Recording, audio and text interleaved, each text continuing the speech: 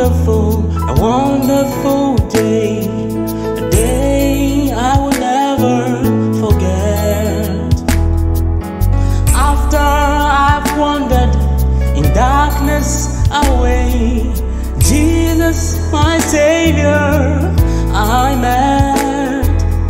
Oh, what a tender, compassionate friend, for he met